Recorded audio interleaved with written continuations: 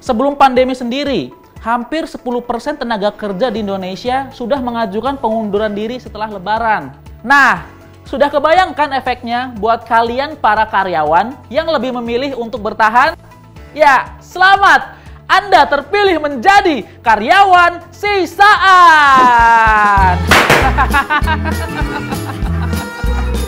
karyawan sisaan.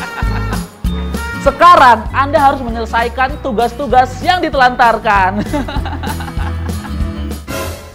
Makan tuh loyalitas.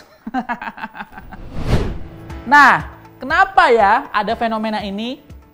Ya mungkin karyawannya cuma mau balas dendam aja sama kantor yang selama ini udah ngerjain dia.